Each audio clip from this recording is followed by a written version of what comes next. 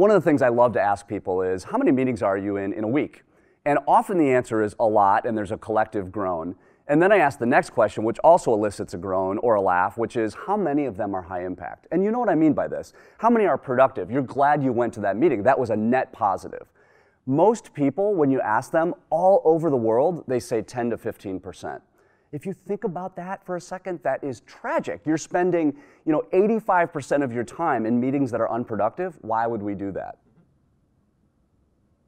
There are five elements to running high impact meetings. And I think we know these things, but the question is do we do these things? Every meeting starts crisply. And the way to start a meeting crisply is to have what we call a purpose benefit check. The purpose of this meeting today is to tackle X and Y. What I think we'll gain from this 45 minutes together is A and B. How does that sound? The second thing is in a high impact meeting, what you want to, do, what gives it impact is the ability to ask the right questions. So what we know is high performing salespeople ask impact questions, which go deeper and farther than other forms of questions. So they ask a really good question that makes the customer think, it elicits analysis or even emotion. There might be some silence there that allows the customer to process what's going on or the prospect to really gain insight into what's happening. And those are very powerful questions. We always suggest that salespeople equip themselves with one or two or even three questions for a 45 to 60 minute meeting. The third element of running a high impact meeting is the ability to pivot.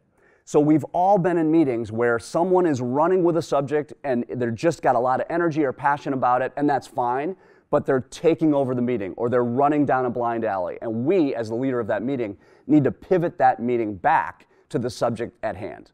Now, if you've done your job at the beginning with a crisp opening and you've got your purpose benefit check, the pivot becomes easy where you can just say, Susan, Bill, that's an interesting, that's an interesting thought and a set of insights. One of the things we had talked about right at the beginning of the meeting that we were going to talk about X and Y. Let's let's move over to Y because I wanted to ask you some questions. And it's almost a physical pivot. You've essentially said, we're here, but we committed to go here as well. Let's go here now.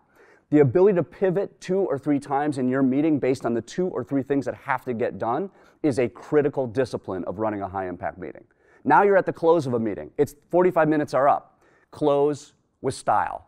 What that looks like is you look at your notes and you say, you know what, Bill, I promised midway through this meeting that I would send you that podcast we just recorded in that white paper. I've got that on my notes. I, you will have that in your inbox by tomorrow morning via email. And you close with action. We all know this, but when we observe meetings in real life, it often doesn't happen. The meeting just sort of fizzles and you walk out and you're done. There is one more thing to running a high impact meeting, and that is saying thank you. Most of us, all of us, say thank you at the end of the meeting. We get up, we shake hands, we say thank you for your time, and we leave, hopefully after a crisp close.